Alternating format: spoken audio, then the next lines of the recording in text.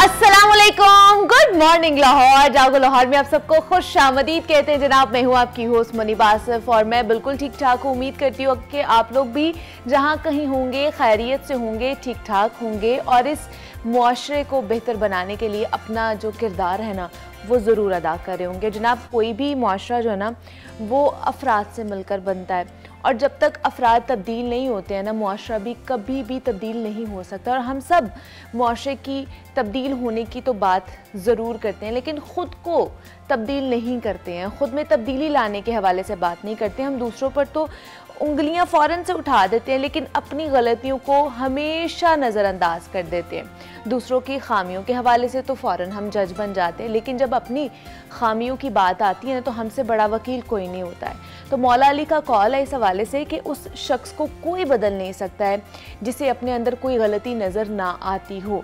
तो इसलिए जनाब, अपनी गलतियों को तस्लीम करना चाहिए और उन गलतियों को सही करना सीखें। हम बदलेंगे, तभी तो मुआरा बदलेगा, क्योंकि मुआरा अफराद से मिलकर ही बनता है। हमसे मिलकर, आप लोगों से मिलकर ही बनता है और हमने ही इन तमाम तर चीज़ों को लेकर आगे जाना होता है। ये रिवायात होती हैं, ये वैल्यूज़ होती हैं हमारी, जो जनाब के जो मुआरे के तकमील के हवाले से फ़ायदेमंद साबित होती हैं। तो ये छोटी छोटी चीज़ें होती हैं जो माशरे में एक अहम किरदार अदा भी कर सकती हैं कि अगर आपके, आपसे कोई गलती हो गई है तो आप उसे मान लें। आप अगर वही गलती किसी और के ऊपर डालने की कोशिश करेंगे तो जनाब कहीं ना कहीं वो वापस ज़रूर आपके आगे आएगी। तो जब आप किसी के साथ बुरा करने का भी सोचते हैं तो आप दूसरों के लिए तो जो खड्डा खोद रहे होते हैं ना, कहीं ना कहीं आप भी उसमें ज़रूर गिरते हैं। कभी देर हो जाती है, कभी जल्द हो, जल्द, जल्दी भी वो वक्त आ जाता है, लेकिन वक्त आता ज़रूर है। इसलिए हमेशा की तरह आज भी आपको यही तलकीन करूँगी कि अपनी मेहनत जारी रखनी है। मेहनत के साथ साथ अपने ऊपर अतमाद होना चाहिए, अपने ऊपर कंट्रोल होना चाहिए कि जनाब हमने कौन सी सिचुएशन में किस तरह रिएक्ट करना है। तभी सारी ज़िंदगी आप बेहतरीन तरीके से गुजार सकते हैं और जब आपको अपने आप अपने ऊपर अतमाद होता है ना कि जब हम मेहनत करके आगे बढ़ रहे हैं तो फिर आप का कोई भी कुछ नहीं बिगाड़ सकता। तो इसलिए हम भी अब आगे बढ़ते अपने प्रोग्राम में और जनाब, कुछ बात कर लेते हैं सेहत और फिटनेस के हवाले से। तो इंसान को ज़िंदा रहने के लिए ना खुराक की ज़रूरत होती है और खाना खाते वक्त बहुत एहतियात और अतदाल से काम लेना चाहिए, क्योंकि खुराक की कमी या फिर ज़्यादती दोनों ही इंसान के लिए ख़तरनाक साबित हो सकते हैं। और गज़ाई माहरीन के मुताबिक ज़्यादा खाने के सबब गज़ा से मिलने वाली इजाफी ताकत, यानी कि कैलरीज ना, इंसानी जिसम में चर्बी बनकर महफूज होना शुरू हो जाती है और जिसके सबब इंसान मोटापे का शिकार ओबेसिटी का शिकार हो जाता है और ज़्यादा खाने को माहरीन की जानब से एक बीमारी करार दिया जाता है, जबकि ओवर ईटिंग डिसऑर्डर मोटापा डायबिटीज़ कोलेस्ट्रोल की ज़्यादती, जोड़ों और पट्टों के दर्द समेत मुतद बीमारियों का सबब भी बनता है। तो खाना खाकर उसे मुनासिब अंदाज में हज़म करने के लिए हाजमे का निज़ाम ठीक होना भी बहुत ज़्यादा ज़रूरी है। तो आज हम इस हवाले से बात करेंगे कि जना मोटापे की वजूहत क्या है? ये इंसानी सेहत के लिए कितनी ख़तरनाक साबित हो सकती है? दूसरा, पाकिस्तान में ओबेसिटी इतनी ज़्यादा क्यों बढ़ती जा रही है? इसकी क्या वजूहत हैं? क्योंकि मोटापे की वजह से भी बहुत सारी बीमारियाँ हैं जो लाक हो सकती हैं। डिप्रेशन है जनाब कैंसर की बीमारी भी है शुगर है, आपका बीपी हाई रहना, मुख्तलिफ़ बीमारियाँ हैं जिसके हवाले से आज हम बात करेंगे, जिसकी जड़ मोटापा समझा जाता है। तो ओबेसिटी क्या है? किस तरह उसको कम किया जा सकता है। ऑपरेशन के थ्रू भी क्या चीज़ें होती है प्रोसीजर क्या होता है? उस हवाले से बात करेंगे। पाकिस्तान के बहुत ही मरूफ डॉक्टर सर्जन हमारे साथ मौजूद हैं। प्रोफेसर डॉक्टर मौजुल हसन जो कि बेरियाट्रिक सर्जन हैं। डॉक्टर साहब आपको खुश आमदीद कहती हूँ जागो लाहौर में। कैसे हैं आप? Thank you very much doctor साहब ओबेसिटी मेरे ख्याल से इसके ऊपर जितनी बात की जाए ना वो कम है। क्योंकि इसमें इजाफा बहुत ज़्यादा होता जा रहा है। पाकिस्तान में हर कोई मोटापे का शिकार हो रहा है और मोटापे की वजह से आपको पता है बेशतर मज़ीद जो बीमारियाँ हैं वो भी लाक होती हैं। लेकिन क्या कॉज क्या है? आपको क्या लगता है क्यों इतने मोटे होते जा रहे हैं लोग पाकिस्तान में? आपको पता है कि पाकिस्तान नहीं बल्कि पूरी दुनिया में अच्छा। जो इस वक्त ग्लोबल प्रॉब्लम है ये हम्म। कि जो ओबेसिटी क्योंकि ओबेसिटी आपको पता है mother of all diseases exactly तो जितनी बीमारियाँ कहीं ना कहीं से उनका लिंक ओबेसिटी से आ जाता है। हम्म। आप देखो डायबिटीज़ हर चौथे बंदे को शुगर है। ठीक है? और पाकिस्तान अगर बाकी चीज़ों में बढ़ नहीं रहा अब इतनी हैरान कन फिगर्स हैं कि पाकिस्तान डायबिटीज़ में बहुत ही आगे चला गया और 2000 लाइक थर्टी या फोर्टी में क्या होएगा कि हर चौथा बंदा जो होएगा वो डायबिटिक होएगा। हम्म। और इतनी ज़्यादा ओबेसिटी और डायबिटीज़ हो गई है तो लोग मतलब इसका उसको ख्याल नहीं रखते। हम्म। और तब पता तब चलता है जब बिल्कुल पानी सर से ऊपर हो जाता है। तो ये बेसिकली सेडेंट्री लाइफस्टाइल है आपका। अच्छा। अब वो काम लोग जब सुबह उठते थे लोग जॉगिंग हम्म। करते थे वॉक करते थे शाम को भी सोने से पहले तो वो चीज़ें ख़त्म होती जा रही हैं। और बस अब तो लोग मेरे पास जो आते हैं ना वो इतने तंग हो जाते हैं। वो कहते हैं यार बस जी हमने तो सब चीज़ें कर ली हैं। बस हमारा ऑपरेशन कर दें। जान अच्छा, छुड़ाएँ हमसे। सही। लेकिन आप पता है इतनी जब भी आप ओबेसिटी पे बात करते हो तो इतनी ऐसी चीज़ें होती हैं जिनको आप पहले आपको इन्वेस्टिगेट करना पड़ता है okay. कि यार इसको कोई ओबेसिटी किसी बीमारी की वजह से तो नहीं है हम्म। कोई और रीज़न तो नहीं है आपको पता है कि थायराइड हार्मोन जो होता है अच्छा। वो सबसे बड़ा कल्प्रेट है कि okay. अगर किसी का ज़्यादा काम कर रहा है तो इट मीन्स कि आप नॉर्मल भी खा रहे हो फिर भी आपका वेट कम हो रहा है हाँ। अगर किसी का ऐसा बंदा है जो इतना खा भी नहीं रहा हाँ। लेकिन वज़न उसका बहुत बढ़ी जा रहा है तो फिर ऑलवेज अब यू गेट टू हैव ना थायराइड फ़ंक्शंस उसमें क्या होता है अगर वो कम कार कर रहा हो जैसे जिसको कहते हैं हाइपोथायरडिज्म तो उसमें हाँ। क्या होता है कि उसका वज़न बढ़ता है। इसलिए हमारे पास जो भी लोग आते हैं उनकी प्रॉपर हिस्ट्री एक दफ़ा होती है। Okay, यार आपको कोई मेडिकल इश्यूज़ तो नहीं है जिसकी वजह से hmm. आपका वेट बढ़ रहा है। जब आप उसको रूल आउट करते हो और बीमारियाँ बहुत हैं कुशिंग सिंड्रोम है इसमें होते हैं बच्चों के अंदर बहुत ही ज़्यादा है। अब पता है पाकिस्तान में ओबेसिटी बहुत ही ज़्यादा हो गई है हम्म, बच्चों के अंदर। और ख़ासतौर पर बच्चों में चाइल्डहुड ओबेसिटी बहुत ज़्यादा तो वो उनमें भी एक हार्मोन डिफिशेंसी होता है। लेप्टिन। की डिफिशेंसी वो अनफॉर्चुनेटली है ही नहीं. आप बताएँ आपको बताऊँ छोटे छोटे बच्चे दो दो साल के वज़न पच्चीस किलो. Oh ठीक है मेरे पे ऐसे ऐसे आते हैं. तो आप जब वो टेस्ट भी यहाँ नहीं होता बाहर भेजना पड़ता है जर्मनी वगैरह इधर उधर लेप्टिन का. और बाद में उनका क्या होता है वो इंजेक्शन लगते हैं. वो इंजेक्शन हमारे पास है ही नहीं दस बारह लाख का खर्चा है उसका. हम्म। तो इतनी दफ़ा इस पर यह बातचीत हो रही है. मतलब हमने काफ़ी ऐसे लोग उनको फिर ऑब्वियसली आपको ऑपरेट करना होता है फॉर टाइमिंग आपको कुछ ना कुछ तो करना होता है हम्म। ताकि बाद में वो अपनी नॉर्मल मतलब लाइफ और ये हमें हमें इस ट्रैक पर जाने के लिए बहुत सारी ऐसे इनिशिएटिव्स हैं जो लेने की ज़रूरत है इकदाम उठाने की ज़रूरत है। हाँ सहूलियात का फुकदान है इस हवाले से जिस तरह आप बता रहे हैं कि टेस्ट भी अगर लेते हैं तो हमें जर्मनी भेजने पड़ते हैं और जो इंजेक्शन भी लगते हैं वो भी बाहर से ही आते हैं यहाँ पर नहीं है। तो मज़ीद सेहत के हवाले से जो सेहत सेक्टर है उसमें क्या क्या फुकदान है इस हवाले से बात करने के लिए हमें ज्वाइन किया है। नुमाइंदा लाहौर न्यूज़ है मोहम्मद बिलाल ने हमें ज्वाइन किया। मोहम्मद बिलाल आपको वेलकम कहती हूँ जागो लाहौर में। अच्छा बिलाल सेहत के हवाले से हमने बेशतर बात भी की है। बारह मरतबा अपने प्रोग्राम में भी आपको मधु करके बात की है। क्या प्रॉब्लम्स है जो हमारा जो हेल्थ सिस्टम है वो सस्टेन नहीं होता और ये लैक करता जाता है? जिस तरह सर भी कह रहे हैं कि इधर इस तरह के टेस्ट होते हैं जो हमें बाहर भेजने पड़ते हैं जर्मनी भेजने पड़ते हैं उसके रिज़ल्ट के लिए। यहाँ पर वो सहूलियात हमें मिलती नहीं है। देखिए मुनिबा सबसे पहले इशू ये है कि हमारे पास जो बुनियादी सहूलियत हेल्थ की वो पूरी नहीं हाँ। हो। रही। ये तो फिर एडवांसमेंट में आते हैं ये इलेक्ट्रिन का जो टेस्ट सर बता रहे हैं हम्म, हम्म। ये एक डिफरेंट चीज़ आ, आ जाती है। इस तरह मुख्तु जेनेटिक्स के अभी टेस्ट हैं वो पाकिस्तान में नहीं होते। अच्छा। उनके सैम्पल्स बाहर भिजवाने पड़ते हैं। ज़रूरत इस अमर की है कि हमें पहले अपनी जो बुनियादी ज़रूरियात ज़िंदगी है वो पूरी करने की ज़रूरत है। हम्म। अभी ओबेसिटी का आज हमारा टॉपिक है। ओबेसिटी क्यों इतनी ज़्यादा बढ़ी है? उसकी सबसे बड़ी और बेसिक जो रीज़न है खाने पीने की हैबिट्स तो हैं ही हैं। इसमें मेटाबॉलिज्म सिस्टम भी एक फॉल करता है। लेकिन इसके साथ आप ये देखिए इसमें डिप्रेशन है टेंशन है वो बहुत बड़ा फैक्टर है। हमारी इस वक्त बच्चे तो आ ही रहे हैं हम्म। लेकिन इसके साथ साथ हमारी जो ख़वातीन हैं हमारी जो यंग नौजवान नस्ल है वो बहुत ज़्यादा ओबेसिटी का शिकार हो रही है। उसकी फिर वजह एक्चुअली ये होती है कि हमारे घरेलू जो ख़वातीन हैं हमारे जो मर्द हैं इसमें अभी हम सबसे पहले बात करें डायबिटीज़ की तो हम दुनिया में नंबर तीसरे पे हैं।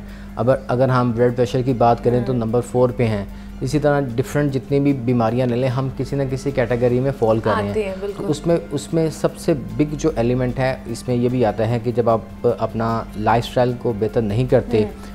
वर्जिश नहीं करते तो फिर इस तरह ओबेसिटी का शिकार जो है लोग अमूमन होंगे और एक हमें इस फैक्टर को हमें थोड़ा सा जो है ना कम करना पड़ेगा कि वो जिनके जिनका थोड़ा सा पेट निकला हो या तोन निकली हो तो हम कहते हैं जी अमीर फैमिली का खाते पीते घर गया तो कोई बात नहीं चलने दे। हाँ। तो इस एलिमेंट को इस फैक्टर को ख़त्म करना होगा। आपको पता है कार्डियोवास्कुलर डिज़ीज़ हाँ दुनिया में इस वक्त आ, आ, मौत की सबसे बड़ी जो वजह ये है उसमें हम्म। सबसे बड़ा फैक्टर क्या है? कोलेस्ट्रॉल हम्म। अचानक आपका हार्ट अटैक होता है आपकी जो वेन्स हम्म। हैं ये बंद हो जाती हैं कोलेस्ट्रॉल की वजह से क्लॉट आ जाता है। तो इसकी वजह से हमें अपने लाइफ को बेहतर करना पड़ेगा अपनी जो एक्सरसाइज है रूटीन है इसको बेहतर करना पड़ेगा। हेल्दी फ़ूड है। हम चूँकि बहुत ज़्यादा इस वक्त अनहाइजेनिक और जंक फ़ूड का इस्तेमाल करें तो जब तक हम इन बेसिक चीज़ों को कवर अप नहीं करेंगे फिर इसी तरह इस सिलसिला चलता रहेगा और ख़ासकर घर में बैठी जो खातन हैं उनमें से तकरीबन इस वक्त अगर हमारे पास सौ फ़ीसद ख़वान हैं तो उसमें से थर्टी फाइव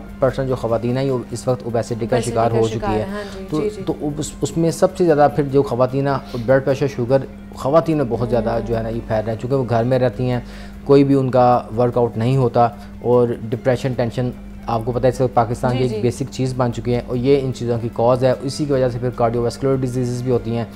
बीमारियों का अल्टीमेटली बोझ हेल्थ सेक्टर पे आएगा फिर आपके फिनंशली इश्यूज़ पे भी होगा। हम्म। तो ये सारे फैक्टर्स मिल के जो है ना ओबेसिटी का शिकार बनते हैं। तो ओबेसिटी को कंट्रोल करने के लिए और इन इकदाम पर आगाही देना बहुत ज़रूरी है। बेशक ऐसे ही। है अच्छा डॉक्टर साहब दूसरा आ, हमें ये भी रिपोर्ट से पता चला है कि ओबेसिटी की वजह से बे औलादी भी बहुत ज़्यादा बढ़ती जा रही है। और पाकिस्तान में आपको पता है कितनी बड़ी रेशो है कि जिनके घर बच्चे नहीं होते हैं बे औलाद वो कपल्स होते हैं। तो इज़ इट ट्रू कि ये बहुत ज़्यादा। है? इसे कहते हैं पी ओके वो होता है ये ओवेरियन सिंड्रोम होता हाँ है हार्मोनिक डिसऑर्डर्स होते हैं। इसमें होता है कि बेसिकली लोगों के जो मैंस्ट्रल प्रॉब्लम्स होते हैं वो कंसीव हम्म। ही नहीं करती। अब मेरे पास यकीन करें 18 साल बाद एक कपल ने कंसीव किया ठीक है? आफ्टर लूजिंग द वेट ना उस पेशेंट का वेट था हंड्रेड ट्वेंटी जब वो सेवेंटी पे आई तो उसने कंसीव कर लिया। हम्म। इसी तरह एक और है उन्होंने सोलह साल बाद किया। तो बहुत सारे लोग हैं जिनके पाँच पाँच छः छः साल आपके पी की वजह से आपके अगर ये कंसीव नहीं कर रहे तो बेसिकली आपने वेट कम करना है okay. उसका हल क्या है वेट कम करना तो अगर वो उससे नहीं होता उनका डाइट और एक्सरसाइज से बहुत सारे लोग हैं जो कहते हैं हम कोशिश करते हैं लेकिन फिर भी उन्हें कंट्रोल नहीं होता तो फिर उनका हाल ये वेराटिक सर्जरी है अच्छा। और जब आप ये करते हो तो उनका वेट कम हो जाता है और महीने में आपका फ़र्स्ट मंथ और सिक्स वीक्स में कोई 10 से 12 के जी कम हो जाता है हम्म। और जितना किसी का ज़्यादा वेट होता है उतना ज़्यादा कम होता है। और छः माह में तीस चालीस के के जी तो नॉर्मल है कम होना। अगर किसी का दो ढाई सौ से ऊपर है तो उसका सेवेंटी एटी तक भी कम हो जाता है। सौ के जी तक भी चला जाता है। अब मसला यह है कि लोगों को सबसे इम्पोर्टेंट है कि ये कॉन्सेप्ट पता होना चाहिए कि वेट लॉस क्या चीज़ है और रीशेपिंग क्या है। ठीक है। जैसे अमूमन आप लोग इसको क्या करते हैं इकट्ठा लेते हैं मिस गाइड लोग करते हैं और बताते हैं कि या जी आपकी लाइपर सेक्शन कर दें। हाँ। आपका 20 किलो निकल गए 20 किलो चर्बी निकल गई 10 निकल गई इस तरह नहीं होता। जो लाइपर सेक्शन है वो कॉस्मेटिक प्रोसीजर है। आप वो बॉडी को एक शेप देता है। वो लाइपो उनकी होनी चाहिए जिसका वेट है सिक्सटी है सेवेंटी है एटी है। मैं कहूँ जी आप बोलें ये बोला जिस साइड मेरे लव हैंडल बड़े अच्छा, हुए हैं अच्छा। यहाँ करें जी चिन है वहाँ से अब डबल चिन ख़त्म कर दो। तो वो ये क्या करते हैं? आपको एक शेप बनाती है ठीक है और बैराटिक जो सर्जरी है बेसिकली ये वेट लॉस सर्जरी है हम्म। अब इसमें भी जो भी क्योंकि है टाइम मैं बता रहा हूँ कि इसमें भी दो टाइप के ऑपरेशन होते हैं है। एक ऑपरेशन होते हैं उसे हम कहते हैं रिस्ट्रिक्टिव ऑपरेशन जिसमें खाली आपने मैदे का साइज़ कम कर दिया हम्म। जैसे सबसे इम्पोर्टेंट रिस्ट्रिक्टिव ऑपरेशन है वो स्लीव गेस्ट्रेक्टमी है। वो कहते हैं मैदा सत्तर से अस्सी परसेंट आपने कम कर दिया। Okay. उससे क्या होता है आपका सिक्सटी परसेंट जो एक्स्ट्रा वेट है वो छः माह में कम हो जाता है। Hmm. तो दूसरा एक था जो बैंड होता है। बैंड अब पूरी दुनिया में ख़त्म हो गया जो बैंड लगाते हैं वो पाकिस्तान में है अभी पाकिस्तान में फिर भी कुछ लोग लगा रहे हैं। अच्छा। तो मैं उन्हें कहता हूँ आपने इतने लोगों की बैंड बजा दी है बस कर दो। अब बैंड मत लगाया करो। मतलब हमने फटे हुए बैंड निकाले हैं फ्री फ्लोटिंग अंदर पड़े हुए हैं तो बैंड तो रिकमेंडेड नहीं है। ठीक है। दूसरा स्लीव स्लीव में जो एक ड्रॉबैक है हाँ। अगर आप खुद मेंटेन कर सकते हो हम्म। क्योंकि आपको लाइफस्टाइल चेंज करना है। अगर आप अपना लाइफस्टाइल नहीं चेंज करते हो तो फिर आप गेन कर सकते हो। क्योंकि आपने वही हेल्दी चीज़ें आपने उसको छोड़ के फिर आपने अनहेल्दी शुरू हाँ। कर दी। तो क्या होगा आप फिजी ड्रिंक जंक और ये चीज़ें हम्म। लोगे तो स्टमक क्या होता है? अल्लाह ताला ने इसकी कैपेसिटी बनाई है दोबारा फूल सकता है। इट्स लाइक अ बैग तो आप यकीन करें 40 टू 50 परसेंट स्लीव के बाद रीगेन कर सकते हैं अगर वो लाइफ नहीं करेंगे। अच्छा। तो इसीलिए उन्होंने कहा यार इसको कुछ और काम करें। तो उन्होंने कहा कुछ मेल एब्जॉर्प्टिव एलिमेंट भी दें। अच्छा। मेल एब्जॉर्प्टिव मीन पहले तो मैंने रिस्ट्रिक्टिव दे दिया ना हाँ। कि साइज़ खाली काम किया। तो उन्होंने कहा मेल एब्जॉर्प्शन करेंगे साइज़ भी कम कर दो और हजम भी देर से हो। जो नॉर्मल पैसेज आपने पूरा इधर आना था आपने डायरेक्ट उसको वहाँ से इंटेस्टाइन से कनेक्ट कर दिया स्टमक को। अब तो और एडवांस हो गया। जी अब वो होगा कि खाना बजाय वहाँ हजम होने के बजाय लेट होगा तो क्या होगा? कम कैलोरीज अब्जॉर्ब होंगी। हम्म। तो आपका वेट लॉस ज़्यादा अच्छा होएगा और डायबिटीज़ जो है उसका कंट्रोल भी ज़्यादा अच्छा है। इसीलिए आप इस ऑपरेशन को अब मेटाबॉलिक सर्जरी कहते हैं। Okay okay. और ये मतलब अब पाकिस्तान में दो 2014 में मैं आया था। जी जी। It's almost now nine half years इतने तो हो गए हैं। तो कितने तो, अभी तक आपने अपने इस करियर में तो, नाइन इयर्स तो में कितने ज़्यादा कर लिए? ऑपरेशन कितने? Nine thousand nine thousand operation अभी तक आपने कर लिए हैं। तो उसमें आपको पता है पूरी दुनिया से आते हैं। हम्म। और सबसे बड़ा ऑनर यही है कि इंडिया में देखिए कितनी वेराइटिक्स है। हमसे थाउज़ेंड टाइम आगे आगे कितनी है? वहाँ से भी दो पेशेंट आके करा गए हैं। क्या बात है। तो ये पाकिस्तान के लिए एक है कि यार जो लोग बाहर से आ रहे हैं आके करा रहे हैं तो मतलब सबसे ज़्यादा वज़न वाले कौन से मरीज़ आए थे? जो दुनिया का सबसे मोटा था ना उसका वज़न था 612 वो सऊदी अरेबिया में किया था। वो अब वो है 86 केजी का। जो पाकिस्तान का सबसे हैवीएस्ट है वो थ्री हंड्रेड 380 केजी तक का था। वो भुट्टो हैं। अभी भी ही इज़ नाउ हंड्रेड के जी। ओके तो उनकी फैमिली में ट्वेंटी से ट्वेंटी फाइव लोग किए हैं भुट्टो की फैमिली के। क्या बात और है। बच्चा जो दुनिया का सबसे मोटा है उसका वज़न था 200 किलो। और अच्छा। पाकिस्तानी था। दस साल का बच्चा बिलाल को पता है बुलाई वहाँ प्रोग्राम भी किया था। हाँ। दस साल का बच्चा 200 किलो वज़न ही इज़ हंड्रेड के जी नाउ ओके तो ये ऐसा है कि मतलब एक ब्लेसिंग है उन लोगों के लिए जिनके लिए कोई उम्मीद नहीं है नज़र आती ठीक होनी। जिनकी डायबिटीज़ है वो दवाइयाँ खा कर थक गए हैं लेकिन फिर भी कंट्रोल अगर उनसे नहीं हो रही तो उनकी diabetes almost more than 99 percent control हो जाती है। लेकिन हम्म। सबसे इंपॉर्टेंट इसमें है जो मैसेज सब लोगों को मतलब पता होना चाहिए कि हर बंदे की शुगर ख़त्म नहीं हो सकती। हम्म। इसमें जिसका B M I twenty seven point five से ज़्यादा है बी एम आई होता है आपके वेट और आपके हाइट की रेशो तो उसको आपने करना है। उसके लिए ब्रेड लेकिन अगर किसी का बी एम आई कम है पच्चीस हज़ार चौबीस हज़ार उसकी शुगर है कंट्रोल है उसको नहीं करना। नहीं क्योंकि उसका वेट भी कम होता है ना। हम्म। एक बंदा है उसका साठ किलो वज़न है। आपको सर्जन कह रहे हैं नहीं आओ जी आपकी शुगर ख़त्म कर दूँगा। वो तो बेचारा चालीस से पचास पे पहुँच जाएगा। हाँ। तो ये सबसे इम्पोर्टेंट ये है और ये अभी नहीं है। अब पाकिस्तान में यही ऑपरेशन ये हम पिछले नाइन टू थाउज़ेंड फोर्टीन से कर रहे हैं। तो लोगों ने क्या करते हैं आके ओ जी पाकिस्तान में शुगर ख़त्म करने का ऑपरेशन आ गया। लोग कहते हैं ये कौन सा ऑपरेशन है? उनके भी ये तो पहले ही हो रहा है। लेकिन सबसे इम्पोर्टेंट एथिकली आपने उन लोगों को करना है हम्म। जिनको रिकमेंडेड है जिनको हाँ ज़रूरत है। ये नहीं कि वो फिर तंग होता है। ऐसे क्योंकि ये मेल ऑपरेशन होते हैं।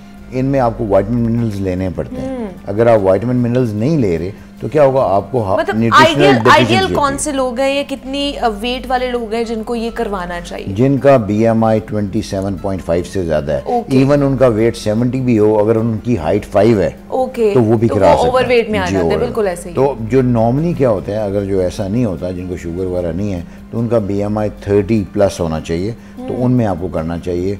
और विद कोमोबिटीज़ यानी उसे okay. शुगर हो ब्लड प्रेशर हो उसे इनफर्टिलिटी हो उसे और हार्मोनल इश्यूज़ हों। लेकिन अगर किसी का thirty five B M I है तो उसको कुछ भी नहीं है लेकिन B M I thirty five है तो उस पर लाजमी उसको अगर वो नहीं कर सकता होना hmm. चाहिए। अब तो उन्होंने क्या कह दिया जो अब आप कहते हो कि वो कहते हैं जी आपकी वेस्ट कैसी है? फीमेल्स में ट्वेंटी नाइन से किसी की ज़्यादा वेस्ट है तो वो बीज है। अच्छा। मेल में थर्टी फाइव से किसी की ज़्यादा है ना तो वो बीज है क्योंकि जो अब देखो आपका वज़न सिक्सटी है। हम्म। पेड़ आपका यहाँ निकला हुआ है। हम्म। तो आप कहोगे तो आप ये नहीं कहोगे कि यार ये पतला है और ये क्योंकि जो ये जो फैट है ना आपके डोमिनल फैट है ये दिस इज़ वेरी डेंजरस ये क्या करते हैं देख लाइक मेजाइल वो ऐसे होते हैं वो आपके गुर्दों पे आपके हार्ट पे आपके ब्रेन पे बाकी टिश्यूज़ पे वहाँ से हार्मोन्स निकलते हैं फैट से। और ये डॉक्यूमेंटेड फैक्ट है।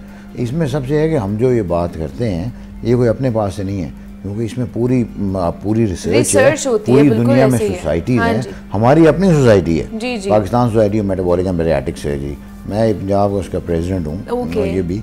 और हमने इसमें बहुत लोगों में अवेयरनेस पैदा की है। और अब उधर शालमार में तो हमने पूरा एक वो इतने सालों से हो रहा है और इतने इतने केसेस लेकिन डॉक्टर साहब हर कोई जो है वो इतना इतना महँगा प्रोसीजर अफोर्ड नहीं कर सकता है। इसमें कोई हज़ारों रुपए नहीं लगते लाखों रुपए लगते हैं।, हैं। तो उसके लिए भी कोई इकदाम उठाए जा रहे हैं कि अगर अब उनको डिस्काउंट दिया जाए अब उसमें मैंने पर्सनल लेवल पे अच्छा। जो मेरी जो अपनी ऑलमोस्ट जक़ात भी काफ़ी उसका परसेंटेज और वैसे भी मैंने ये कहा हुआ है कि कोई ऐसा बंदा जिसको ज़रूरत है शौकिया नहीं यानी जिसका B M I thirty five forty से ऊपर है उसको शुगर भी है ब्लड प्रेशर भी है हम्म। उसका weight hundred thirty forty fifty से ऊपर है उसको वाकई ज़रूरत है और अफोर्ड नहीं करता हम्म। और मैं उसको फ्री करता हूँ और इतने किए हैं मतलब तीस चालीस पचास लोग फ्री होते हैं हर साल। सही है तो इसीलिए ये नहीं है मैंने कहा मेरे पास आओगे तो ये नहीं हो सकता कि आपको ऑपरेशन ना हो। आप यकीन करो जितने मैं फ्री करता हूँ ना शाम को उतने ही पूरे हो जाते हैं। क्या बात आप अल्लाह ताला से तजारत करते हो। बिल्कुल ऐसे तो बिलाल आपको क्या लगता है कि इस तरह के इनिशिएटिव्स हमें गवर्नमेंट सेक्टर में भी तो लेने चाहिए ना ताकि आवाम की सेहत का ख्याल हमें रखा जाए जिस तरह डॉक्टर साहब पर्सनली लेवल पर ये इनिशिएटिव्स ले रहे हैं? देखिए मुनीबा होने चाहिए लेकिन चूँकि हमारे जो पब्लिक हॉस्पिटल यहाँ पे बेसिक नेसेसिटी हम्म। पूरी नहीं हो रही। आप जनरल सर्जरी को ऑपरेशन करवाने चले जाएँ तो आदि आपको जो डिस्पोजेबल आइटम्स है बाहर से मार्केट से लानी हाँ पड़ती हैं। तो ये तो फिर कॉस्मेटिक में आ जाता है लिपोसेक्शन बेरियोटिक सर्जरी ये तो मतलब एक बीमारी नहीं है तो जिन्होंने करवानी है मतलब अपने आप को हाँ। फिट रखने के लिए ये अच्छा। उस तौर तरीके के तौर पे करनी है लेकिन गवर्नमेंट सेक्टर पे होना चाहिए। लोग करते भी हैं लिपोसेक्शन वगैरह तो होता है कुछ सर्जन बेरियोटिक सर्जरी भी कर रहे हैं। अच्छा। तो लेकिन वो उनकी तादाद बहुत कम है लेकिन वो उसी हिसाब से जो है ना ये कर रहे हैं। तो मैं डॉक्टर साहब से पूछूँगा डॉक्टर साहब ये भी बताते चले जाएँ कि आजकल के दौर में ब्रेकफास्ट लंच डिनर कैसा होना चाहिए खाना जो है ना ये हाँ। कैसा हुआ आपको खाना चाहिए अब देखो ये सबसे इम्पोर्टेंट मैं लोगों को कहता हूँ कि अगर आपने पतला होना है ना हाँ। तो अगर आप रात को काब्स बंद करो ठीक है काब्स ना लिया करो ओके कम अज कम आप 12-13 घंटे की फास्टिंग तो दो ना अपने सिस्टम को। देखो जी और वो है भी आसान। जी। अगर आप रात आठ बजे कौन सी इतनी मुसीबत है कि आप उसके बाद आपने लाजमी खाए हाँ। आप आठ बजे खा लो। सही। चलो नौ बजे भी खा लो। अच्छा। अगर आप इतना ज़्यादा बिज़ी हो जी आपने आना है तो आप सुबह नौ बजे तक तो बर्दाश्त कर सकते हो ना कुछ ना खाओ। बिल्कुल आप सोचो। इसमें कोई कोई हार्ड एंड फास्ट रूल ही नहीं है। मैं लोगों कहता रोटी मीठा चावल और बेकरी वाली चीज़ें बंद कर दो। छोड़ दें तो हाँ। तो दालें सब्ज़ियाँ सैलड फ्रूट्स बारबेक्यू पे आओगे आप देखो आपका वज़न कैसे कम नहीं होता। और डाइट आप कम से कम टेन थाउज़ेंड स्टेप्स बिल्कुल जनाब अगर इस इस प्रोसीजर तक आप नहीं जाना चाहते हैं कि आप इतने ज़्यादा ओबीज हो जाए तो आपने खुद कंट्रोल करना है अपने मुँह को कंट्रोल करना है अपनी डाइट को कंट्रोल करना है ताकि आप फिट रह सके और आप ओबीज का शिकार ना हो। प्रोफेसर डॉक्टर मौजुल हसन हमारे साथ मौजूद है डॉक्टर साहब बहुत शुक्रिया आपके वक्त का। और मोहम्मद बिलाल नुमाइंदा लाहौर न्यूज़ में हमारे साथ मौजूद है। बिलाल आपका भी बेहद शुक्रिया यहाँ पर आने के लिए। और ओबेसिटी के हवाले से हम बात करें तो आप सेगमेंट है हमारा लाहौर की दुनिया, जिसमें शहरीों के मसाइल पर गुफ्तु की जाती है और हुकाम बाला के नोटिस में लाते हुए उन मसाइल का मौसर हल तलाश किया जाता है। तो जनाब, हम ये बात ना रूटीन में सुनते हैं कि बिजली आती तो है नहीं है, बिल आ जाते हैं। और बिजली तो पहले भी जाती थी, मगर आजकल लोड शेडिंग में बहुत ज़्यादा इजाफा हो रहा है, जिसकी वजह से शहरीों का जीना दो भर हो चुका है। आपको पता है, गर्मी की शिद्दत जैसे ही बढ़ती है तो बिजली की बंदिश भी बढ़ना शुरू हो जाती है और गैर एलानिया लोड शेडिंग से आवाम का जीना मुश्किल हो जाता है। लेकिन जब गर्मी बढ़ती है, तब भी मसला होता है, जनाब, के लोड शेडिंग हो रही है। बारिश बरसना शुरू हो जाए, तब भी मसला शुरू हो जाता है कि जनाब, जो बिजली का तरसीली निज़ाम है, वो मुतासर होना शुरू हो जाता है। तो आजकल यही है लोड शेडिंग के साथ बिजली के बिलों में भी इजाफा होता जा रहा है और शहरी परेशान है। उनका कहना है कि बिल इतने ज़्यादा बढ़ते जा रहे हैं और बिजली आती नहीं है। तो इसके अलावा शहर के मुख्तलिफ़ इलाकों में तकनीकी ख़राबी के नाम पर भी बिजली कई कई घंटे बंद रखी जाती है। लेस्को की बिजली की तलब 5000 मेगावाट से तजावज़ कर गई है। एनपीसीसी की जानब से लेस्को को 4500 मेगावाट बिजली फराहम की जा रही है, जबकि लेस्को को 500 मेगावाट बिजली के शॉर्टफॉल का सामना भी है, जिस वजह से शहर में दो घंटे लोड शेडिंग का शेड्यूल जारी किया गया है। किन्हीं इलाकों में दो घंटे होती है, बहुत से इलाकों में दो से ज़्यादा घंटे भी लोड शेडिंग की जा रही है। तो आज हम इस हवाले से बात करेंगे कि क्या बिजली के बिलों में कोई रिलीफ हमें मिलेगा बिजली सस्ती मिलेगी और आज बारिश की वजह से जो बिजली का निज़ाम है वो मुतासर हुआ है कहाँ कहाँ पर फीडर स्ट्रिप हुए हैं इस हवाले से बात करेंगे। नुमाइंदा लाहौर न्यूज़ फ़ाहद अमीन हमारे साथ इन स्टूडियोज़ में मौजूद हैं। फ़ाहद आपको वेलकम कहती हूँ जागो लाहौर में। कैसे हैं आप? जी बहुत शुक्रिया। अल्लाह का शुक्र मैं ठीक ठाक आप ठीक हैं? मैं भी ठीक हूँ। बिजली आ रही थी घर में? मतलब मैं तो सुबह जब आई हूँ बारिश हो रही थी तो हमारे घर तो बिजली नहीं थी इसलिए मैंने आपसे पूछा नहीं यार थी बार बार बिजली की ट्रिपिंग हो हाँ जी ट्रिपिंग हो जाती थी। कभी चली जाती थी तो हाँ। ये रात से सिलसिला जारी है जब से बारिश शुरू हो रही है उस वक्त से ट्रिपिंग तो हो रही है बिल्कुल ऐसे हाँ बिजली की। बेसिकली होता ये है कि चूँकि हमारा सारा डिस्ट्रीब्यूशन सिस्टम जो है वो अंडरग्राउंड नहीं है ग्राउंड के ऊपर है तो वो जैसे ही बारिश होती है या तेज़ आंधी चलती है तो वो डिस्ट्रीब्यूशन सिस्टम जो है वो बुरी तरह मुतासर हो जाता है। अब वो सारा सिस्टम मैनुअल है। हाँ जी। अगर एक जगह पे कहीं पर कोई फीडर ट्रिप हो गया है या कहीं पर डेड शॉट आ गई है तो उसके लिए लेस्को को जो मुलाजमीन है उन्हें पेट्रोलिंग करनी पड़ती है। अच्छा। उस फीडर के नीचे नीचे जाना पड़ता है चेक करना पड़ता है कि ये फीडर कहाँ से ख़राब हुआ है। हम्म। फिर इसको ठीक करने के बाद जो है वो बिजली बहाल हो जाती है। हम्म। अच्छा एक तो तरसीली निज़ाम जो है वो मुतासर होता है। दूसरा जो मुलाजमीन है उनके लिए भी ये बड़ी ही मुश्किल का वक्त होता है। हम्म। जब बारिश होती है फ़ील्ड अफसरान ज़्यादातर फ़ील्ड अफसरान अगर रात को बारिश होती है तो वो रात को भी अपने दफातर में बैठे होते हैं अच्छा। कि बिजली का जो है वो निज़ाम बहाल करके फिर ही अपने घरों को जाएँगे। मगर मामला ये है एक तो स्टाफ की बहुत ज़्यादा किल्लत है दूसरा डिस्ट्रीब्यूशन सिस्टम आपका जो है वो बहुत ही फरसूदा नाकस हो चुका नाकस हो। चुका है हाँ जी। तो जो ज़राए हैं उनका कहना है कि इस वक्त लाहौर के जो 70 से 80 फ़ीसद जो ट्रांसफार्मर अच्छा। हैं वो ओवरलोडेड हैं। ठीक है। जैसे ही उन पर लोड बढ़ता है ट्रांसफार्मर जल जाते हैं। हम्म। अगर अब अगर एक किसी जगह पे मैं अगर अप, अपने मोहल्ले की बात करूँ हम्म। अपने इलाके की बात करूँ तो मेरे फ़ीड मेरे मोहल्ले में आ, मुझे 400 केवीए के ट्रांसफार्मर की ज़रूरत है। ठीक है। वहाँ पर 200 केवीए का लगा हुआ है। हम्म। जैसे ही इस पर लोड बढ़ता है शदीद गर्मी होती है लोगों के एसी चलते हैं पंखे चलते हैं कूलर चलते हैं तो वो उस पर लोड बढ़ जाता है ट्रांसफार्मर जल जाते हैं। अब ट्रांसफार्मर का जलना अज खुद एक बहुत बड़ा अजाब है। उसकी वजह क्या है कि ट्रांसफार्मर तब्दील करने के लिए कमो बेश वैसे एस के मुताबिक चार घंटे में ट्रांसफार्मर चेंज होना चाहिए। अच्छा ठीक है। ठीक है। मगर उसमें मुतद ऐसे इलाके हैं जहाँ पर दो दो दिन लग जाते हैं ट्रांसफार्मर हम्म। तब्दील नहीं होते। और जो फिर भी जो कोई कोई पोश इलाके हैं यहाँ जहाँ पर लोगों की सुनी जाती है वहाँ पर भी कमो बेश आठ से दस घंटे लगते हैं ट्रांसफार्मर रिप्लेस करते हुए। उसकी वजह यह है कि एक बकट क्रेन इस्तेमाल होती है ट्रांसफार्मर क्योंकि ट्रांसफार्मर को हाँ उतारने के लिए क्रेन के बगैर ट्रांसफार्मर उतारा नहीं जा सकता उससे प्लेटफॉर्म से। तो वो क्रेन होती है इस्तेमाल। वो पूरी डिवीज़न में एक या दो करेने होती हैं। एक डिवीज़न में पाँच से छः सब डिवीजनें होती हैं। अच्छा। ठीक है।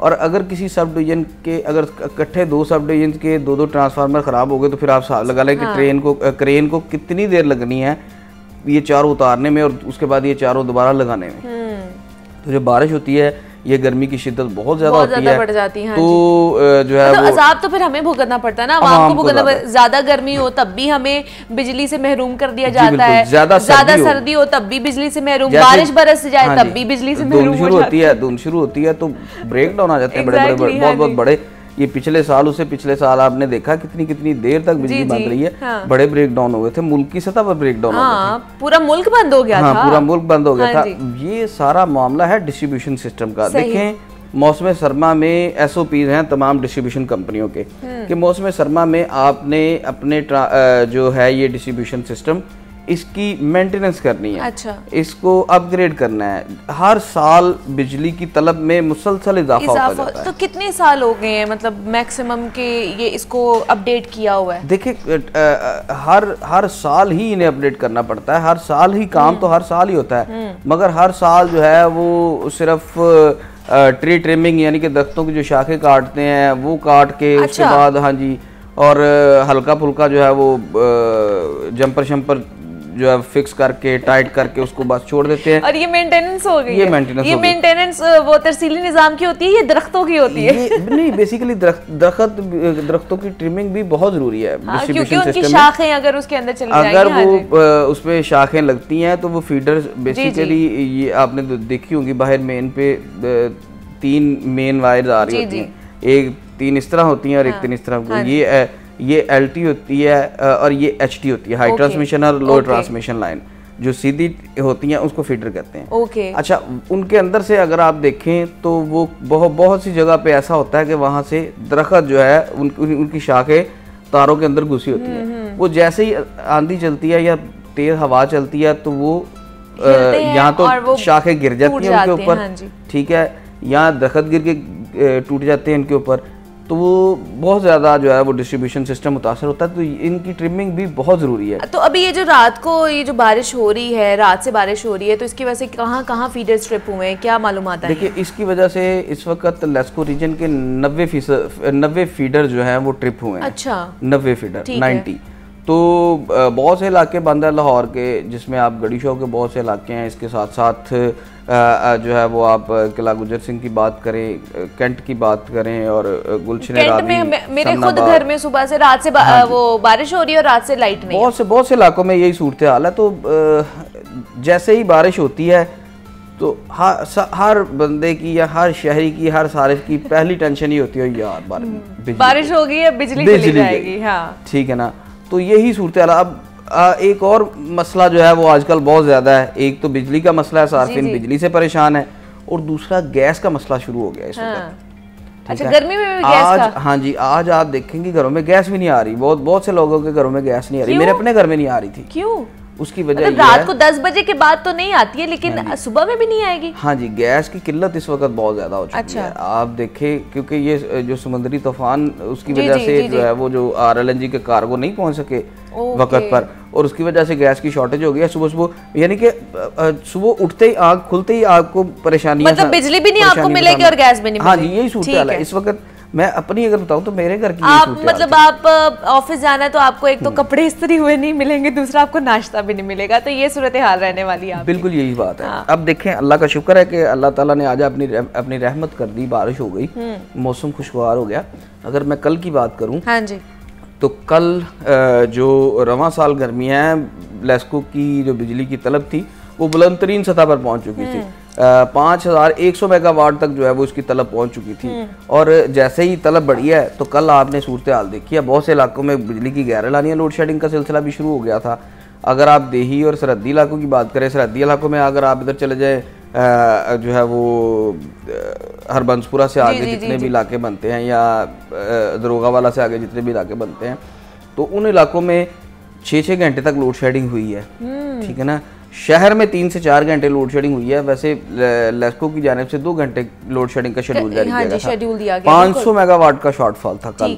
ठीक है। और अगर उससे पहले कल से एक दिन पहले चले जाएँ ठीक है?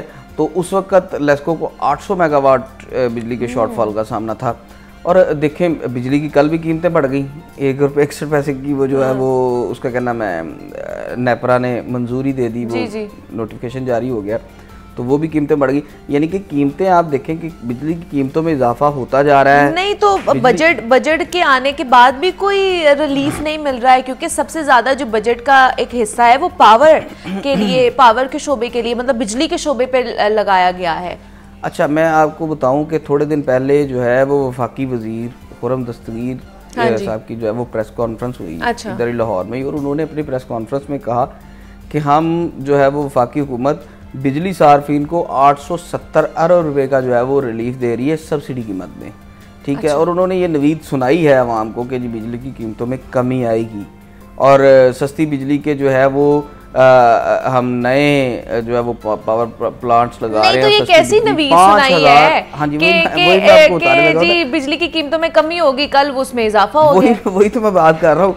क्या आप देखें कि तीन चार दिन पहले उन्होंने कहा जी बिजली की कीमतों में कमी होगी हाँ। और ये जो फ्यूल प्राइस एडजस्टमेंट है ये आवाम को नहीं देना पड़ेगा। उसकी वजह यह है कि बिजली अब सस्ती पैदा हो रही है। अच्छा। पाँच हज़ार मेगावाट हमने सस्ती बिजली पैदा अच्छा। कर ली है।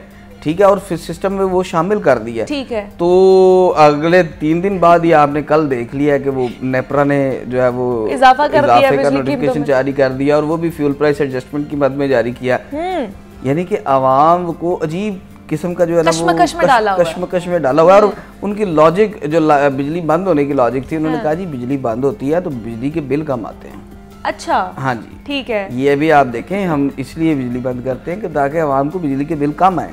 सही जितनी सही। बिजली कम इस्तेमाल होगी उतने बिल कम आएँगे। ठीक है। और यही लेकिन बिजली के बिल तो धड़ा धड़ा ही जा रहे हैं और इतना इजाफा हो रहा है कि एक जो आम आदमी है तो उसके लिए तो नहीं है कि वो दे सकता है क्योंकि आमदन नहीं है उसकी इतनी ज़्यादा। देखें जो बंदा 700 यूनिट से ऊपर इस्तेमाल कर रहा है इस वक्त ना उसको चालीस रुपये के हिसाब से यूनिट पड़ रहा है और अगर सारी चीज़ें मिला लें उसमें टैक्सेस शामिल कर लें तो उसका फ़ी यूनिट जो है वो कम वेश जो है वो अड़तालीस से पचास रुपये का पड़ता है उसको हम्म। एक यूनिट अड़तालीस से पचास रुपये का पड़ता है और अगर आप एक दिन एक रात को एसी लगा लेते हैं तो आपके तीन चार यूनिट आराम से चल जाते हैं बल्कि ज़्यादा चल जाते हाँ। हैं। ठीक है ना? लेकिन जो एसी नहीं भी लगाते ना फाहद उनका भी चौदह से पंद्रह हज़ार रुपया बिल आ रहा है। देखें वही तो मैं बता रहा हूँ बिजली महँगी बड़ी हो चुकी है।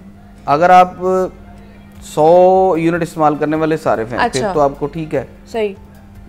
आपका सात आठ रुपए तक यूनिट पर यूनिट आपको जो है वो बिल आएगा अगर आपका आपके यूनिट 200 तीन तीन सौ से ऊपर हो जाते हैं तो फिर आपका कमो बेश जो है वो बाईस से तेईस रुपए का यूनिट पड़ता है। हम्म। ठीक है? मुख्तलिफ़ बेसिकली टैरिफ हैं। घरेलू टैरिफ की मैं बात कर रहा हूँ। अलग है हाँ जी। तो अगर आपके यूनिट 400 से ऊपर हो जाते हैं तो आपको तीस रुपए तक यूनिट पड़ जाता है। चार सौ से ऊपर हो जाते हैं पाँच सौ से ऊपर हो जाते हैं तो आपको बत्तीस तैतीस चौंतीस ऐसे इस इस रेशो से आपको यूनिट पड़ा यानी कि मैं बता रहा हूँ कि जो सात सौ से ऊपर यूनिट है वो कम बेश फोर्टी सेवन से फोर्टी एट एट रुपीज़ तक जो है वो चार्ज किया जा रहा है। अगर okay. इसमें टैक्सेस वगैरह शामिल कर लिए जाए सारा फ्यूल प्राइस एडजस्टमेंट शामिल कर लिए जाए टैक्सेस शामिल कर लिए जाए तो इस वक्त ये सूरत हाल है। आवाम तो इस वक्त जो है वो पिस चुकी है बिल्कुल ऐसे ही है। कोई बुरा कोई पुरसाने हाल नहीं, हाल नहीं है। इस वक्त। यकीन करें कि मैं अगर आ, जो मैं ये कहता हूँ कि जो दरमियाने तबके के अमीर लोग थे ना वो मिडिल क्लास की सतह पे पहुँच चुके हैं इस वक्त और ख़ास तौर पे बिजली की वजह हाँ से बिजली की कीमतों की वजह से। वो मिडिल क्लास पे पहुँच चुके हैं। जो मिडिल क्लास तबका था ना वो lower middle class lower middle class पे पहुँच गया ठीक है ना? तो अब उनके बस की बात भी नहीं रही कि वो एक या दो एसी दिन में दो चार पाँच घंटे चला सके। हम्म। जो मिडिल क्लास तबका था पहले किसी दौर में हम्म। वो अब एक दो तीन घंटे जो है ना वो बिजली इस्तेमाल करके एसी नहीं चला सकता। हम्म। तो बड़ी मुश्किल हो गई है लोगों वो एसी चलाएँगे तो हाँ। कहाँ से अफोर्ड करेंगे इसका, कि वो इतने इसका, हज़ारों रुपए पैसे इसका सबसे बड़ा नुकसान जो है वो बिजली महँगी करने का सबसे बड़ा नुकसान ये है कि बिजली की चोरी में इजाफा हो गया। ठीक है? अब जो बहुत से लोग ऐसे थे जो कहते थे कि नहीं यार बिजली नहीं चोरी करनी ये नहीं करना वो नहीं करना वो ढूंढते फिरते हैं यार कोई तरीका है बिजली चोरी करने का? अच्छा। लोग यानी कि आप अगर कार्रवाइयाँ चेक कर लें लेस्को की अपनी ही कार्रवाइयाँ चेक कर लें रोज़ दूसरे दिन कार्रवाई की जाती है और वो लोग एफआईआर होने के बावजूद दोबारा उसी जगह पे जो है वो डायरेक्ट सप्लाई लगा के बिजली चोरी कर अच्छा दूसरा लेस्को की जैसे हमने बात की थी सुबह हमने ये खबर भी दी है कि लेस्को के पास ऑलरेडी एक तो अफ, अफराद जो हैं मैन पावर वो कम है जिस तरह हम पहले भी बात कर चुके हैं। दूसरा जो इनके चेयरमैन हैं बीडीओ हाफिज़ नुमान साहब उन्होंने कहा जी लेस्को की जो टीमें हैं ना वो कराची चली गई हैं। 450 मुलाजमीन पर मुश्तमिल 70 टीमें बनाई गई हैं और जो वहाँ पर जाके सारा समुद्री तूफ़ान का जो खर्चा है उसके हवाले से वहाँ पर जो है वो खदशात का ज़ाहिर किया जा रहा है और उसको मैनेज करेंगी सारी। तो फिर यहाँ पर कौन करेगा? देखिए यहाँ पर बेसिकली लेस्को ने ना कैटेगरी बना दी थी। ये अच्छा। कच्चा इनिशिएटिव उन्होंने लिया है। कि अपने जो है वो मुलाजमीन को भेजा वहाँ पर ताकि वहाँ पर जो आ, हमारे भाई इस हाँ मामले से हाँ। जो है वो मुतासर होंगे उनकी हेल्प की जाए। बेसिकली ये जितने भी लोग गए हैं इनमें 450 लोग गए हैं टोटल। सत्तर हाँ टीमें बनाई गई हैं और इसमें लेस्को का एक शुबा है जीएससी अच्छा। और एक शुबा है कंस्ट्रक्शन। ओके। ये दो आ, सर्कल के लोग गए हैं बेसिकली जो ऑपरेशनल स्टाफ है वो नहीं गया लेस्को का ओके उसकी वजह यह है कि ऑपरेशनल स्टाफ तो यहाँ पर अगर कोई मा, मामला होता है जैसे आज बारिश आई है तो आ, हम्म। जो है वो मामला डिस्टर्ब हुए हैं तरसीली निज़ाम के तो वो ऑपरेशनल स्टाफ इधर ही है। ऑपरेशनल डिवीज़न में से एक गाड़ी और एक ड्राइवर सिर्फ़ उन्होंने भेजा उसके साथ बाकी सारा स्टाफ जो है वो जीएससी जो कंस्ट्रक्शन सर्कल है और जीएससी सर्कल है पीडी हम्म। कंस्ट्रक्शन गए हैं इसके साथ और इसके साथ कंस्ट्रक्शन के जितने भी एक्सीएंस और एस हैं जितने भी एक्सीएंस और एस हैं जी जी। वो गए हैं इनके साथ साथ इनकी एक एक गैंग गई है एक एक टीम जिसको हम्म। कहते हैं और ये सत्तर गैंग्स थी टोटल जो यहाँ से गई हैं और यहाँ से वो बसों के ज़रिए गए हैं अपने अपनी गाड़ियाँ गाड़ियाँ भी थी उनके अच्छा। पास जो लेस्को की जो सामान हाँ वाली गाड़ियाँ जिसमें सामान वगैरह लेके जाते हैं और वो मेंटेनेंस वर्क जिस पे जाके करते हैं जी जी। वो गाड़ियाँ गई हैं वो सिंगल कैबन डाले हैं। हम्म। वो गए हैं उनके साथ एक एक ड्राइवर गया और ये सारे लोग जो हैं वो आज सुबह पहुँच गए होंगे। आज उन्होंने पहुँचना था कल के गए हुए हैं। हाँ जी। रात इन्होंने सक्कर स्टे करना था और उसके हम्म। बाद इन्होंने आगे कराची जाना था। और कराची के बाद इन्होंने सिविल इंतज़ामिया के साथ मिल के वहाँ पर जो मामला अल्लाह ना करे कोई मामला वहाँ पर ऐसे हों कि इनको काम उधर करना पड़े। वापस ये जैसे गए हैं वैसे ही आ जाएँ अल्लाह करे।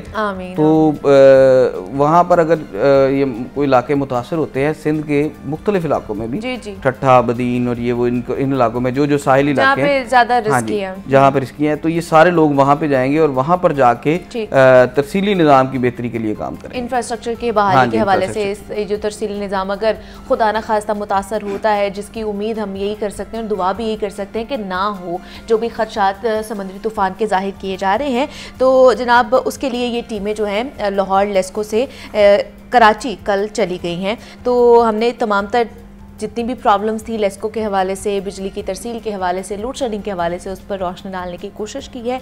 फ़ाद अमीन, नुमाइंदा लाहौर न्यूज़ हमारे साथ मौजूद है। फ़ाद, आपका बेहद शुक्रिया कि आप यहाँ पर आए। और, जनाब, अभी भी वही उम्मीद की जा सकती है कि जनाब, बेहतरी की तरफ़ हमें जाना चाहिए और जितनी भी चीज़ें हैं उसके हवाले से बेहतर कदम उठाएँ ताकि जनाब, अब हम बात करने वाले हैं आज एक ऐसे अहम इशू पर जिस पर बात करना बहुत ज़रूरी है। तो जनाब, वालदेन को अल्लाह पाक ने बुलंद तरीन मरतबा अता फरमाया है और हुक्म दिया है कि कभी भी अपने वालदेन के सामने उफ तक ना करो।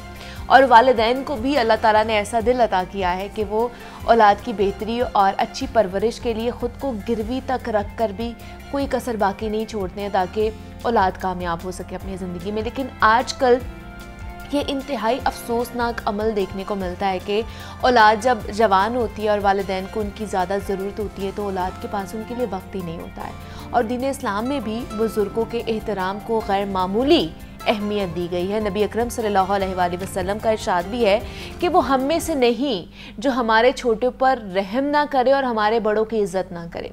और बुज़ुर्ग अफराद के साथ नामुनासिब रवैये से पेश आने के तदारुक और उससे मुतलक शौर उजागर करने के लिए इस दिन को अकवा मुतहदा की जनरल असम्बली ने एक करारदाद के ज़रिए दिसंबर 2011 में मंजूर किया था और अकवा मुतहदा की एक रिपोर्ट के मुताबिक हर छः में से एक बुज़ुर्ग फ़र्द को किसी न किसी सूरत में बदसलूकी की आ, का सामना करना पड़ता है। और एक्सपोर्ट इस हवाले से खदशात का इजहार भी कर चुके हैं कि माली तौर पर गफलत के बायस या किसी भी दूसरी शक्ल में बदसलूकी के वाक़ात से बड़ी उम्र के अफराद, नफसियाती या फिर जिस्मानी अवारस का शिकार हो सकते हैं। तो दुनिया भर में आज बुज़ुर्गों से बदसलूकी की रोकथाम का शूर उजागर करने का आलमी दिन मनाया जा रहा है। तो आज हम इस पर बात करने की कोशिश करेंगे कि क्या तालीमत हमें मिलती हैं, हमें मुआरे को किस तरह बेहतर बनाना चाहिए, जो बुज़ुर्गों में और हमारी जो न्यू जनरेशन में, जवानों में एक जो गैप आता जा रहा है, उसको किस तरह मीट किया जा सकता है कौन कौन से ऐसे इकदाम हमें उठाने की ज़रूरत है। हमारे साथ इस वक्त मौजूद हैं, बहुत ही ख़ास मेहमान हैं जो इन स्टूडियोज़ में हमारे साथ मौजूद हैं। हज़रत वासिफ़ अली वासिफ़ साहब के साहबजादे हैं, काशिफ वासिफ़ अली वासिफ़ हमारे साथ इन स्टूडियोज़ में मौजूद हैं। सूफ़ी स्कॉलर हैं, राइटर हैं, उन्हें खुश आमदीद कहते हैं। सर, आपको वेलकम कहती जागुलहार में कैसे हैं आप? जी, बिस्मिल्लाह जी, बहुत शुक्रिया जी। सर आज बुज़ुर्गों से ख़ास करके कह लें कि जो बदसलूकी की जाती है उसको कंडेम करने के हवाले से दिन मनाया जा रहा है। तो आपको क्या लगता है कि ये दिन क्या एक दिन ही मनाना चाहिए? जी बिस्मिल्लाहिर्रहमानिर्रहीम असल में ये जितने भी दिन मनाए जाते हैं ना जी हाँ जी। मदर डे फादर डे ये डे वो हाँ, डे हाँ, सारे हाँ, जितने दिन हैं। और ये सारे जो दिन हैं जी ये बेसिकली इस्लाम में तो 24 फोर आवर डेज़ हैं। सही उन लोगों ने डेज़ इसलिए बनाए हैं कि उनकी जो आगे लोगों की तरबियत चल रही है वो हम्म। बहुत और तरह से चल रही हाँ जी ट्रू वहाँ के निज़ाम में ऐसे है कि पेरेंट्स दूर हैं बच्चे अठारह साल से बाहर निकल गए हुए हैं हम्म। या अगर पेरेंट्स को रखा हुआ है उन्होंने ओल्ड एज हाउस में रखा हुआ है तो हाँ आज का दिन है जी जाए उनसे मिले हाँ। उनको फूल दें चॉकलेट दें उनके साथ टाइम स्पेंड करें हाँ। तो हमारे यहाँ तो अब्बा जी होते हैं सच्ची बात बताओ हाँ बताऊँ वो वहाँ पर तो जो है ना वो 24 घंटे का एक प्रोसेस है हाँ। देखिए ये तो दुनिया ना जी ये दो किस्म के सिस्टम्स पे चल रही है हम्म। एक है फॉर द सिस्टम एक है against the system for the system में हम कहते हैं कि ये अल्लाह ताला का निज़ाम जो है हाँ जी। और इस निज़ाम के साथ जो अल्लाह के अहकाम के साथ हम्म। जुड़े हुए हैं वो हैं फॉर द सिस्टम जी और दूसरी ताकतें हैं अगेंस्ट द सिस्टम आपने फैसला करना है कि आप ज़िंदगी में किस तरफ़ चल रहे हैं। हम्म। अगर आप फॉर द सिस्टम के लिए चल रहे हैं तो उसके बीच में तो बहुत सख्त बातें हैं और वालदेन के हवाले से। जी। एक दुआ हम करते हैं अक्सर रबना आतिना फिर दुनिया। या अल्लाह ताला हमारी दुनिया भी अच्छी बना हमारी आखिरत भी अच्छी बना। हम्म। हज़रत वासिफ अली वासिफ रहमत ने इसके ऊपर एक बड़ा खूबसूरत फिक्रा कहा है। अच्छा। आपने कहा कि अगर तुम्हारे बीवी बच्चे तुमसे राज़ी हैं हम्म। तो तुम्हारी दुनिया तुमसे राज़ी है। क्या बात है। और अगर तुम्हारे वालदेन तुमसे राज़ी हैं तो तुम्हारी आखरत तुमसे राज़ी है। क्या बात तो वो ये दुआ का जो है ना मजहर कि हम दुनिया में अपने माँ बाप के साथ अगर हुसन सलूक के साथ रहते हैं हम्म। हमारी आखरत यानी कि इतनी बड़ी एक गारंटी जो है कि वालदेन सरकार वैसा बहुत सख्ती से इसके ऊपर कहते थे कहते थे कि ये दुनिया ने जो कामयाबी का जो निज़ाम बना के रखा हुआ है ना ये सारा एक फेक है। आ, इस निज़ाम के अंदर कहीं पर भी आ, लोगों के ऊपर जो है वो हुसन सलूक शामिल नहीं है। हम्म। पैसा है फेम नेम गेम है सारी की सारी। जबकि हम लोग जिसको खुश नसीबी कहते हैं या जिसको हम सक्सेस कहते हैं हमारी सक्सेस तो हमारी आफ्टर लाइफ में शुरू होनी है। हम्म।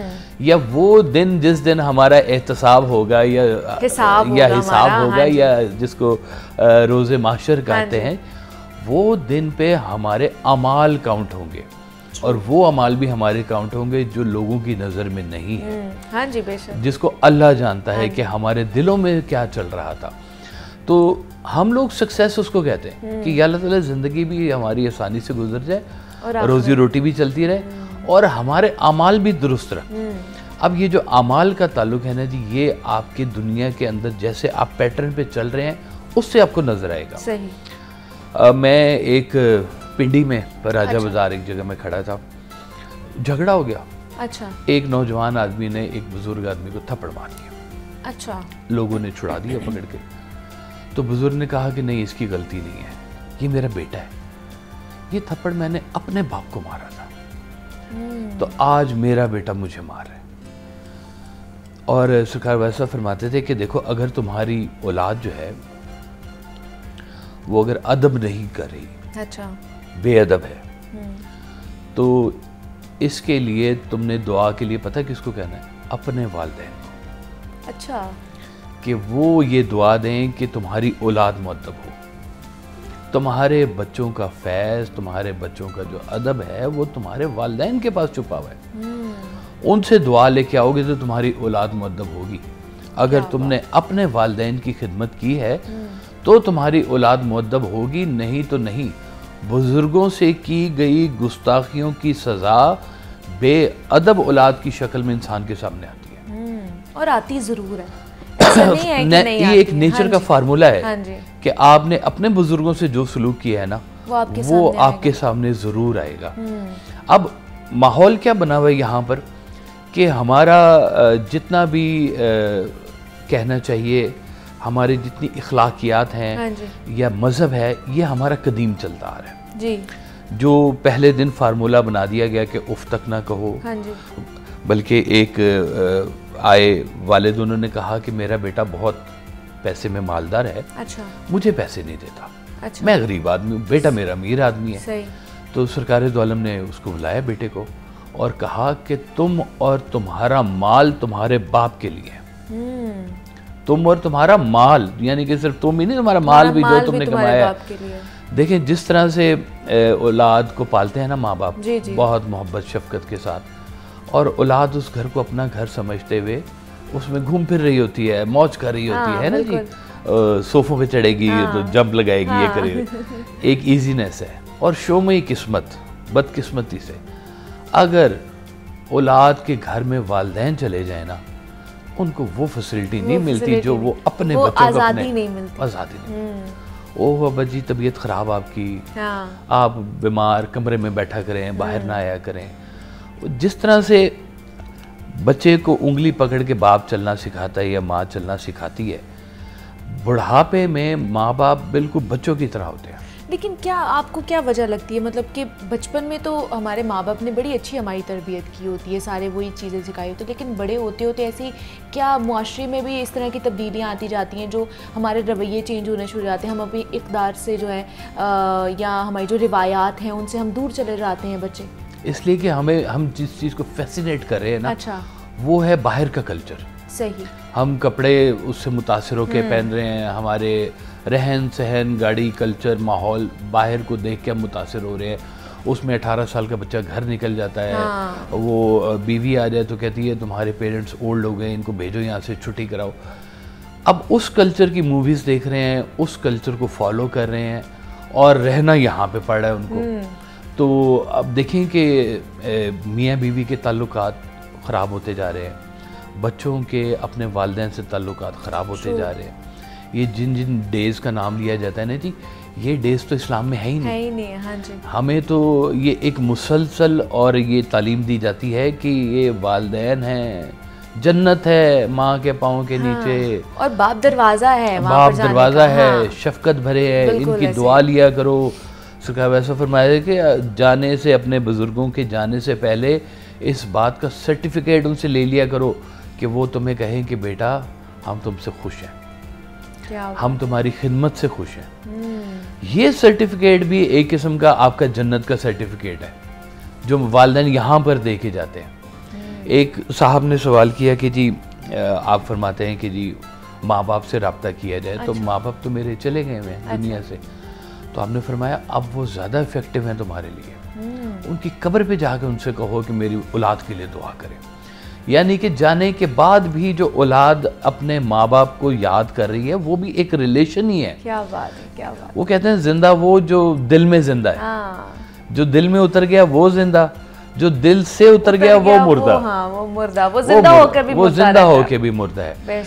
तो वालदेन तो हमें ज़िंदा रहना सिखाते हैं। कितनी खास किस्म की परवरिश होती है हम्म। बच्चों की कि अपना पेट काट के अपनी ख्वाहिशात का कत्ल करके माँ बाप जो हाँ है बच्चों की अच्छी एजुकेशन के ऊपर काम करते हैं अच्छे कपड़ों के ऊपर काम करते हैं कि ये कहीं माशरे में इनको एहसास कमतरी का शिकार ना हो और दूसरी तरफ़ क्या हो रहा है कि जैसे ही औलाद बड़ी हो रही है हम्म। तो वो जनाब एक डिस्टेंस के ऊपर चलती जा रही है लेकिन ये इस पे बड़ी बात भी हो रही है और ख़ास करके जो अब नई जनरेशन का जो काशिफ साहब जो आ रही है ना वो कहते हैं जी हमारा और हमारे पेरेंट्स में एक जनरेशन गैप है कि वो ओल्ड स्कूल हैं ओल्ड माइंडसेट हैं। हम अब जदीद दौर के बच्चे हैं हमें और भी चीज़ें देखने को मिलती हैं और वो थिंकिंग पैटर्न उनका जो पुराना है।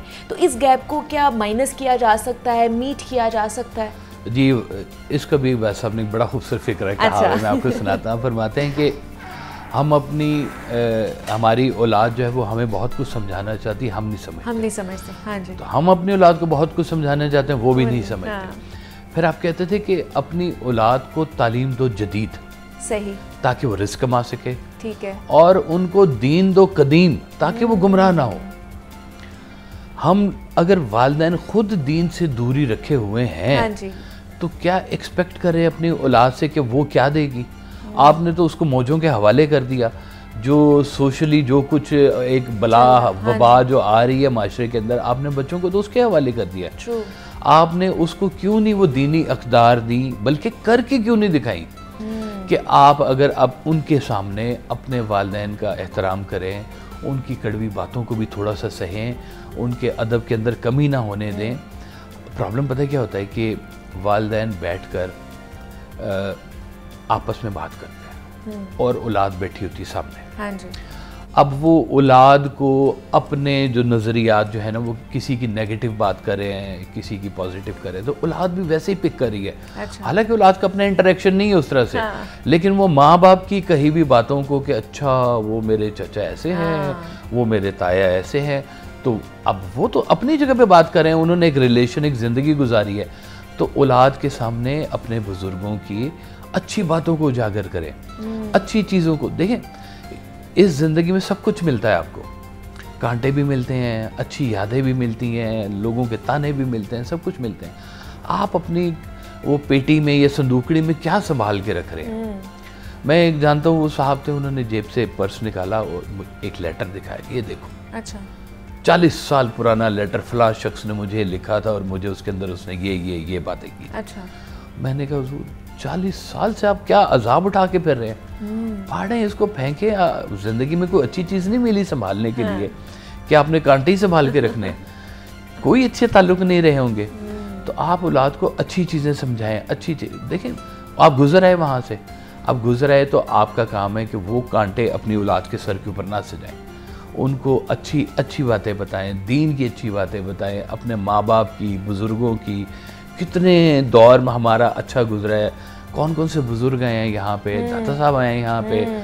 हज़रत ख्वाजा मोइन चिश्ती आए हैं यहाँ पे अच्छा उनकी बातें बताएँ हाँ उनको उनसे कोई रिलेशन डेवलप करें उनको उनको क्वेश्चन करने दें हम्म।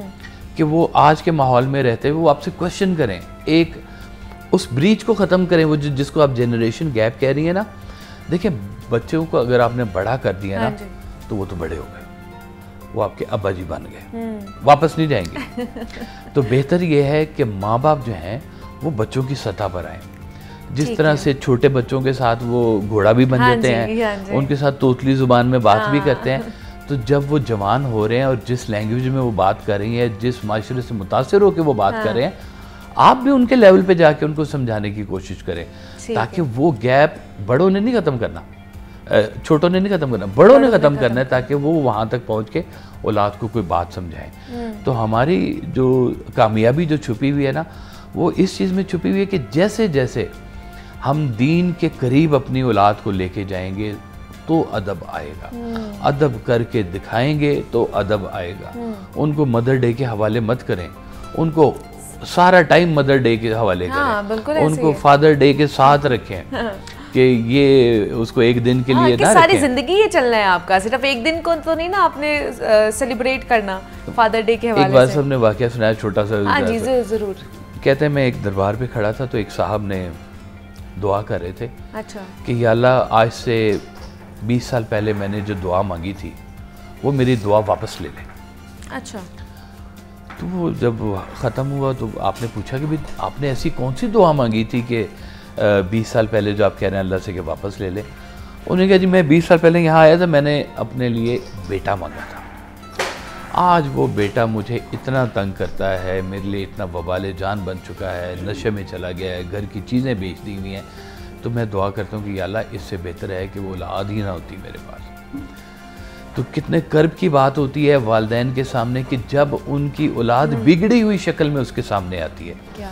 मैं कहता हूँ वालदेन के लिए तो यहीं पे योम हिसाब शुरू हो गया जब औलाद आके बड़े कर्ब का मकाम है कि वालिद आके अपने बच्चे से कहे कि बेटा मैं तुम्हारा वालिद हूँ। बेशक ऐसे ही है। और वो क्या मकाम होगा उसके लिए? और वो क्या मतलब उस टाइम उनकी आप बेबसी का अंदाज़ा नहीं लगा सकते कि माँ बाप आके आपको ये बोल रहे हैं।